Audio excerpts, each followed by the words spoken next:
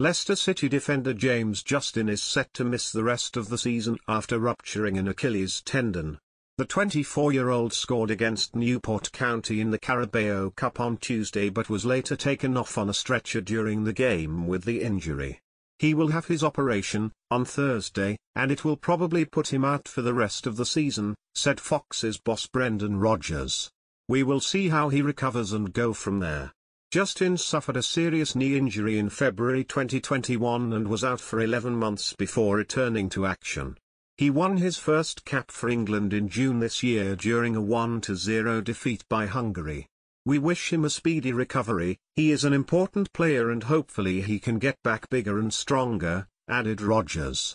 It is a huge disappointment for us all, him, having been out before and coming back and getting back to his level.